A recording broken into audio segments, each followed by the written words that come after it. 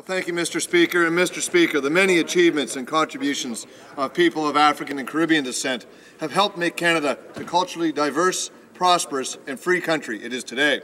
And that is why the month of February is celebrated across Canada as Black History Month. And this year we are paying special tribute to the achievements of black Canadians in the area of law enforcement, both past policing pioneers and present leaders who have distinguished themselves by their commitment to serve and protect Canadians. It brings to mind two from my riding, a Ted Upshaw and the late Robbie Jones, a lifelong friend of mine who both served this country and their community as valued police officers. Canadians from throughout Canada will be participating in events and festivities taking place in their communities this year to, black, to uh, celebrate Black History Month. We encourage everyone to take the time to recognize the vital role that black Canadians have played in building Canada and have shaped our national identity.